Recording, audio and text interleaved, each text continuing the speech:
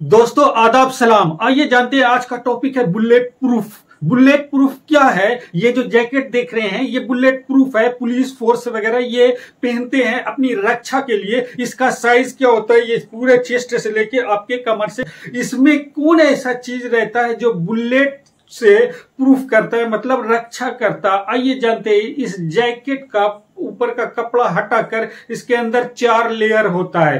पहला लेयर होता है सिरामिक फाइबर लेयर दूसरा लेयर होता है एरामिड फाइबर लेयर एंड तीसरा लेयर होता है वर्टेक्स लेयर एंड चौथा चौथा लेयर होता है पॉलीइथिलीन लेयर दोस्तों, आइए जानते हैं इन सारे को एक एक करके समझते हैं बुलेट को कैसे ये रोक देता है। जब गन से बुलेट निकलती है तो उसकी स्पीड लगभग 500 मीटर प्रति सेकंड होता है स्पीड कितना? 500 मीटर 500 मीटर प्रति सेकंड होता है इस बुलेट का स्पीड। और ये जब बुलेट निकलता है तो बहुत गर्म भी होता है। दोस्तों, आइए जानते हैं, जब फ़र्स्ट लेयर पर बुलेट पड़ता है, उसे कहते क्या है? Ceramic layer. सिरामिक लेयर पर जब बुलेट पड़ता है तो ये बुलेट का नोखिला होता है, वो नोक चपटा हो जाता है या टूट जाता है और स्पीड थोड़ा कम हो जाता है। फिर दूसरे लेयर पर चलते हैं तो पहला लेयर हो गया ये वाला, यहाँ पर इसका मुँह हो गया, चिपटा, ये बुलेट है। और इस लेयर को कहते हैं सिरामिक लेयर। ये सिरामिक लेयर हो गया और फिर इस पर जब आता है ये बुलेट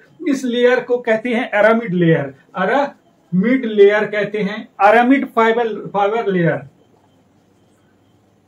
fibre layer कहते हैं, इसमें ये क्या होता है, ये लचीला होता है थोड़ा, और स्टील से भी ज़्यादा मज़बूत होता है। इसको ये अगर छेद लिया तो इसमें इसका किनेटिक एनर्जी कम कर लेता है पूरे सर, इसमें इस बुलेट का स्पीड इस पूरे सरफेस पर, जैसे ये गोली लगा यहाँ पर बुलेट, इस पूरे सरफेस पर बढ़ जाता है इसका स्पीड और इस बुलेट का स्पीड हो जाता है कम।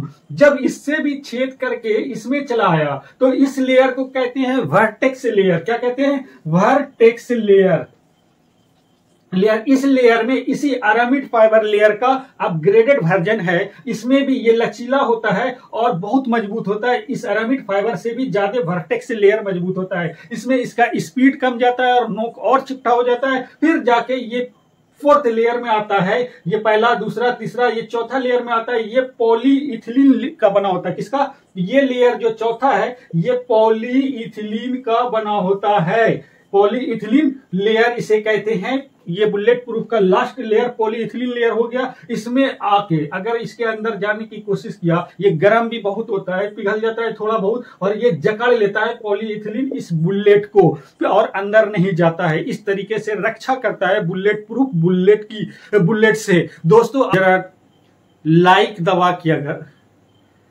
लाइक कर दिया करो दोस्तों।